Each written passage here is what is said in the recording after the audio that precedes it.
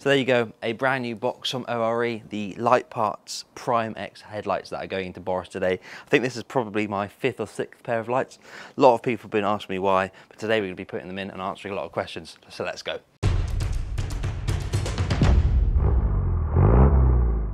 So just before we get started, I want to talk about the process of getting to this point with Boris uh, and why the headlights have been in and out, in and out, changing. And I have had some ORE ones in the past, which are absolutely brilliant. So I went from the original ones that were in Boris, which is sort of a spider looking, very bright LED, and every single person that passed me at night would flash me.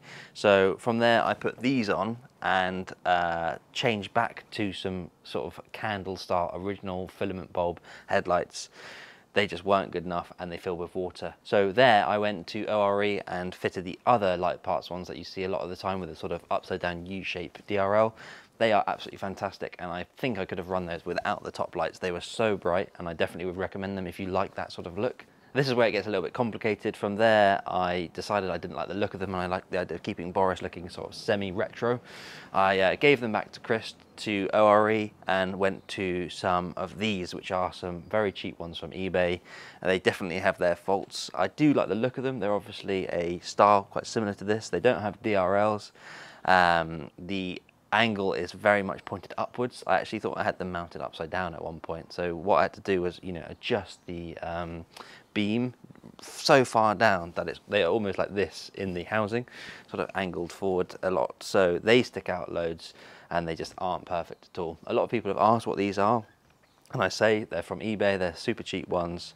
Um, I've been testing them out um, and ORE are bringing some light parts Prime X ones in the future, which actually I think from the box uh, they look really fantastic. I think they actually look more classic than these ones as well. They've got a sort of light sort of look to them, more original, sort of like the filament ones that used to come. So these, you get the look of that classic retro uh, sort of theme, which I'm going for, and I know a lot of people do, uh, which I'm really excited for, but you still get the uh, light parts quality of uh, manufacture, build, and then also uh, sort of light output as well.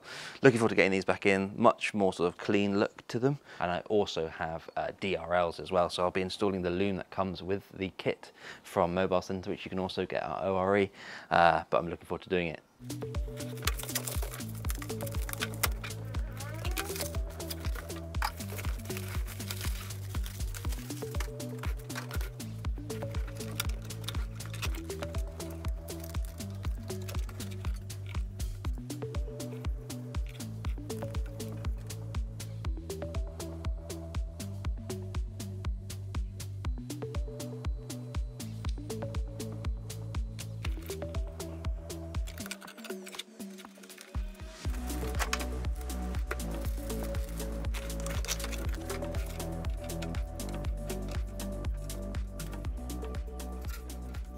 So there you are, just unboxed those out now, looking absolutely brilliant. As I said before, quite a nice sort of classic light style look, nice and silver, very OEM, but upgraded OEM, which is sort of what Boris hopefully is. Comes with three prong connectors in there, and on the little instructions that come in the box, it shows you how to place them into this little plastic plug.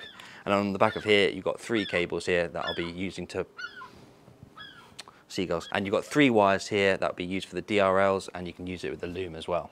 The loom also comes with these. You can connect these into your side lights and then into the headlight as well. Do look up instructions on how to do it. They don't come with any and I'm not sure if I'll need these yet or not. So all I'm going to do is take the black fascia off of here. It's just the lights around. Easy job really. This bit's actually very easy. It's The wiring that is a little bit more complicated, but again, comes with the loom so you don't have to make that, which is really good.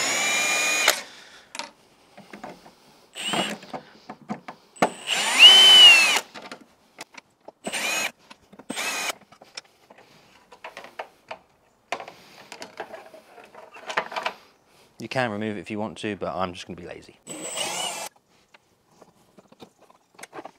Obviously, good old me uh, from years ago, putting electrical tape in there to make sure that the connectors are obviously nice and waterproof, but it means I have to go and get some cutters. Bit of cobweb in there obviously as well. Good to get some electrical cleaner in there while you're there. Uh, there's the old one out, and on there you've got a surround. Just need to undo these three screws on there, put the new one in there, and then basically good to go. So there's the old one. Once you've got these two clips off of there, you need to do is just remove this housing and that is how you fit it into the truck. Leave that there for now. What I just wanted to show you was the difference between this one and the new one.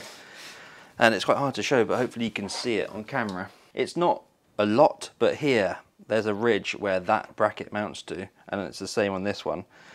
This new one, it's almost flush. You've got the glass and then a couple of mil, a few mil anyway, and then you've got the uh, actual glass for the light. Here, you can see that ridge there, but after that, you've got over a centimetre and a half before you even get to the edge there, and you can actually see that bit sticking out beyond the sort of surrounds of the uh, light and it sticks out a little bit. It is just a visual thing. Um, these are designed for Jeep, so maybe it looks different on there, but it's just a nice touch just to have that nice flush bezel there so that it sits nice and neat. So big fan of that.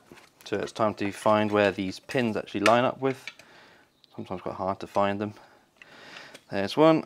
It's good to leave one on there so it doesn't you don't flop around too much. You only need to take two off. There we go. One there. Out of well, two out of three actually. And then the final one there. Obviously always good to make sure everything's in position loosely until the final one is in, but uh, you know me, just rushing things a little bit as usual. There we go, right. So there we go, new light mounted up nicely into the new housing there. Right, so what we're gonna do next is find a DRL wire that I mounted in earlier.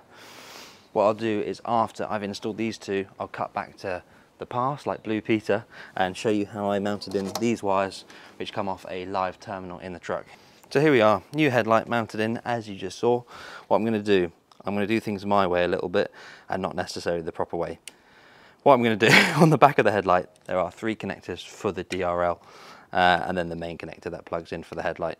There's a black, a white and a red.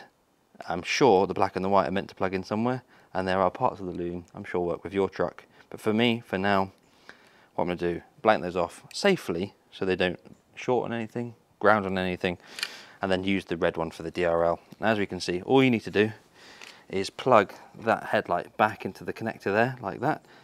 And if you want, you could use some spray, some grease, which I'm going to do actually, unplug that and then do that. Just going to go in there with a bit of electrical contact cleaner. It's very muddy in there. Clean that off a little bit. You actually would probably want to use something that actually can stick around a little bit like a grease, but what I'm gonna do is clean up for now. Doesn't look too bad. If yours is looking really awful, or if you do off-roading 24-7, then uh, maybe do that as well. So what I'm gonna do is chuck that in there. Still a little bit wet from the contact cleaner, so what I'm gonna do is give it a bit of a move around. That'll clean all the connectors up a little bit. Again, my way of doing things, not the proper way. Don't copy me if you're worried. so that's now connected into there, and take my wiring from earlier, that goes onto the red one and the actual ground and the uh, the ground comes through here onto the light and that red is the live for the ignition live. So let's take a look at that. And as we're putting it in it's already on. Look at that. That's already looking awesome. Right so now what I'm going to do is go down and see if the DRLs actually turn off with the ignition and I'll just plug them to the battery. Yay check that out. Key in turn it on Ah, oh, that is brilliant. I've never had DRLs, so that is very cool to do. Nice simple way there, nice bit of information from Tim who makes the uh, looms. Uh, very easy and also actually don't have to do half the wiring that I thought you were going to have to do. Just run it quite simply for now, but we'll get into that in a moment.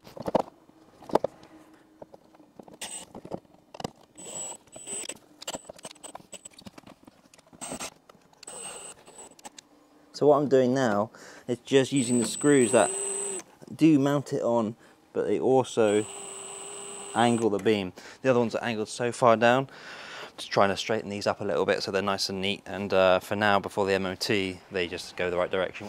That's in place, looking fantastic, nice and easy.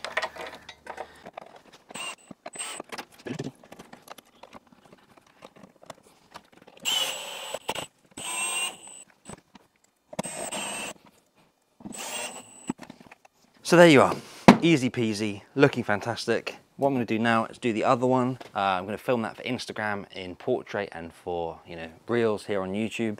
Uh, basically, it's just the same thing. Repeat it on the other side. Take it all apart. Give everything a good clean as you do it. Take things up if you want. Uh, just repeat that process, and it's generally the same. We'll come back in a second once we've done that.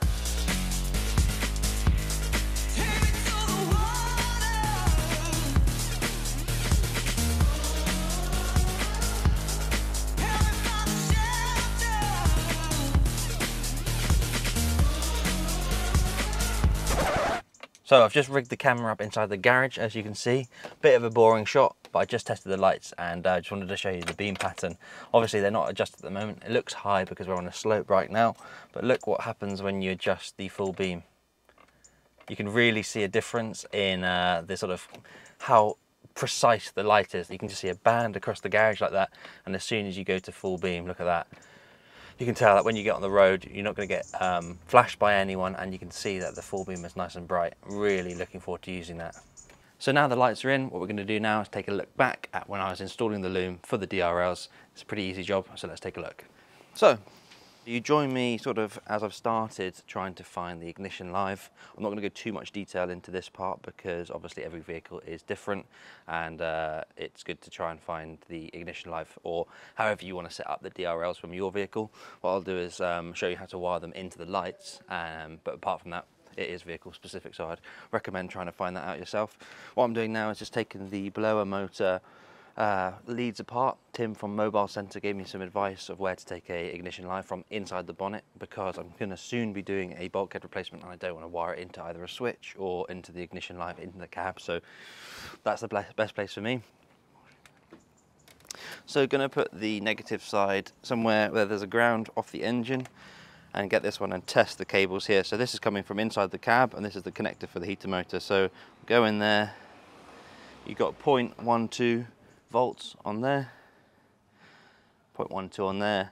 And then on this one we got a good at the moment it's showing 10.9 but that is the live one and that is the purple. So that's a good one to go for. I just plugged the soldering iron into the jackery actually just gave away my last uh, extension cable so it's handy to have that just there.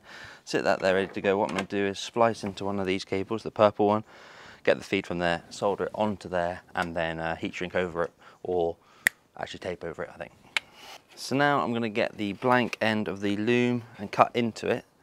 And there I'm going to put a fuse that comes with the kit actually as well. Thankfully these have a little cutter on them. In there. Then in the kit you get this blue connector like that. And I thought it was actually just to crimp into this wire but it actually turns out it's a fuse holder. So I'm glad I didn't use it for that. And all you do is you sit one wire through that end which is clever because usually have to like cut and crimp and solder, but this is just nice and easy. Um, you just go straight into there, clamp it down like that on the wire. That's already gone through there and it keeps it nice and protected. Do the same on that side as well. There you've got a fuse holder in line there, which is nice.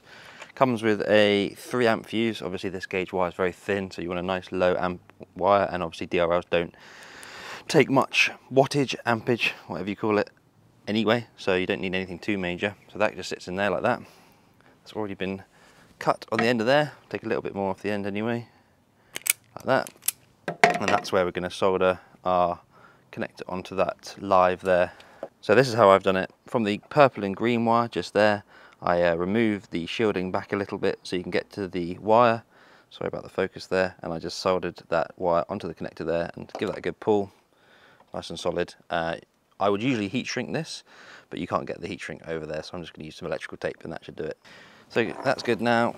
That can go back down in there and hide away nicely, and we can reveal that again when we do the bulkhead in the next few weeks or whenever we're doing it. Oh, that's all fallen down there. So here we have the inline fuse coming from the connection we just made, turns into a nice guarded armored conduit cable protector there, and then it meets into this connector. That one will go into the passenger side headlight just here, which is, will run the DRL. And then from there it splits off and that will run underneath the radiator or out of the way, whatever you can do, along to the, uh, uh, the driver's side one, and then that will connect into there as well. So now what we can do is make sure that both of these are connected to the uh, ignition live and that the DRLs will work. So that's great. Nice.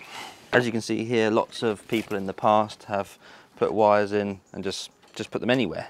So I, am either going to follow that mentality today because we are going to take all these um, wings out very soon, um, but they should be ran really neatly down through everywhere. But for today, I might just keep it simple and just run it over the top.